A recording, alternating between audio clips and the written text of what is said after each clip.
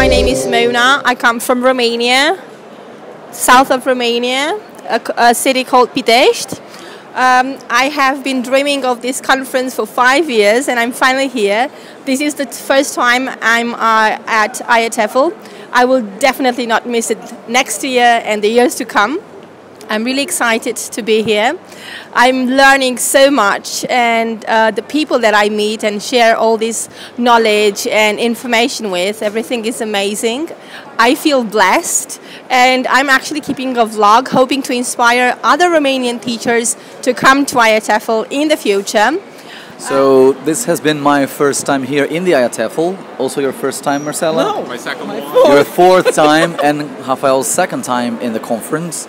And uh, it's been really enjoyable and it's been great to see other teaching contexts and how it compares and contrasts to our own teaching context back in Sao Paulo, Brazil.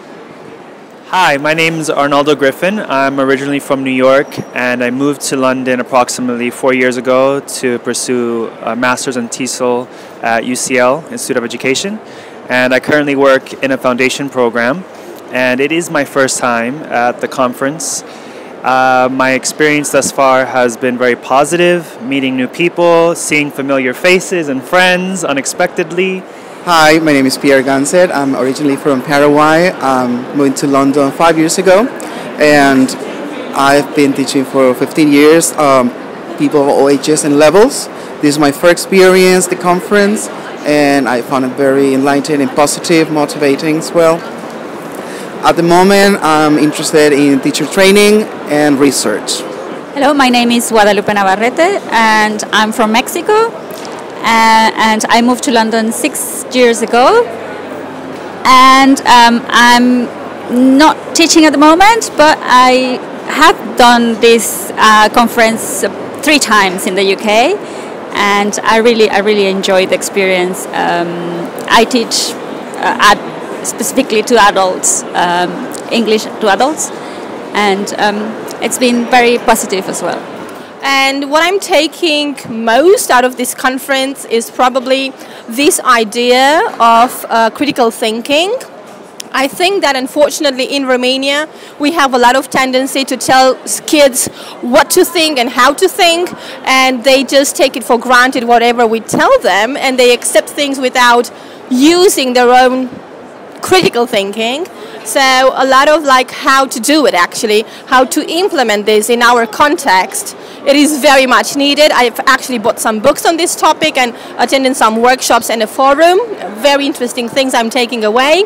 And also CLIL using uh, English um, and different contexts, other subjects to, to teach things and um, global issues, to teach global issues through English very much needed, and I'm, I'm taking that with me back home. I am taking away um, is that technology is not going to is not going to replace the, the teachers because it's have to work along with us. So we are there, and then the technology is going to help the learns in like the learners in the learning process, right? So this is what I'm taking from. The same thing for us. It's one. Ah, it's just it's one. So I guess there are a lot of ways to answer the question in terms of future directions. I think that what's interesting is that the new wave and generation of younger teachers uh, and specifically the way that the world has changed in the past 20 years and how that affects these newer generations of people who may not even be aware of the whole world of IELTS and, and, the, and, and the world of um, teaching in general. So I think possibly a new direction would be to tap into this, this well of, of talent and, and this group, this new dynamic of possibly new teachers, new researchers who could possibly bring a whole enlightened or different perspective to the things that we've already done or, or have spoken about?